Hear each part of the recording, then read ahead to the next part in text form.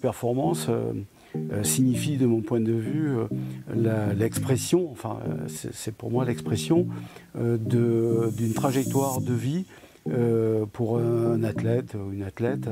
Et ça sous-entend en fait que le haut niveau peut être considéré comme euh, une entrée euh, dans ce désir de performance euh, qui est la pratique sportive intense, avec les deux, le double projet, comme on l'a exprimé depuis très longtemps, ce projet de vie professionnelle possible, futur, et ce projet de vie personnelle autour de l'excellence sportive.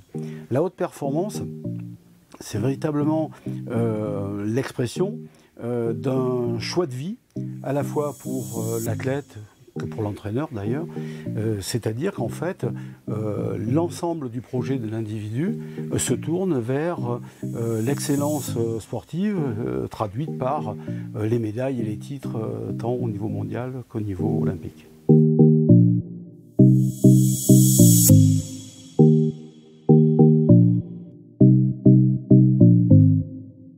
Concernant la place de cette approche dans le cadre d'un projet de, de fédération. Ce que je trouve de, fort, en tous les cas ma, croyance, c'est que, euh, que l'on s'adresse à, la performance mesurée. Euh, je parlais de résultats, de titres, euh, et que l'on regarde l'autre performance, pour moi, qui est fondamentale, c'est-à-dire celle de la traduction d'un projet sportif en, intention éducative, en intention sociale, en développement personnel.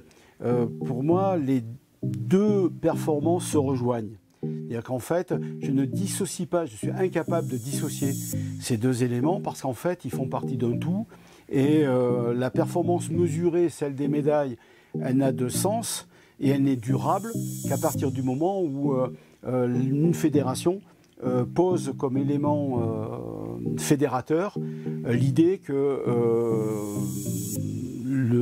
le, niveau à atteindre pour accompagner les personnes euh, par le sport et euh, à égalité ce niveau-là entre celui qui est sur la performance mesurée ou sur la performance par l'éducation.